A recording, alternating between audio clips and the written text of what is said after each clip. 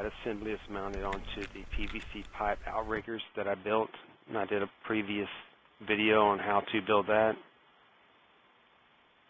This is the light that's mounted to a one inch piece of PVC pipe. On the top is a GoPro mount. The assembly or the light itself is a bike mount. It has a tether just in case it happens to fall off.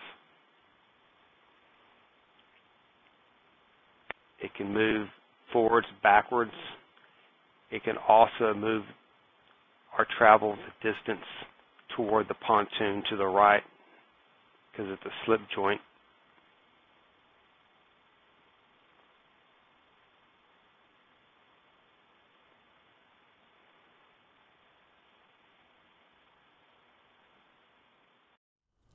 It's got different modes.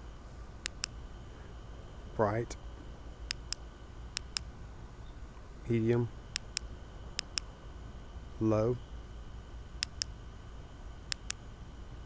Strobe.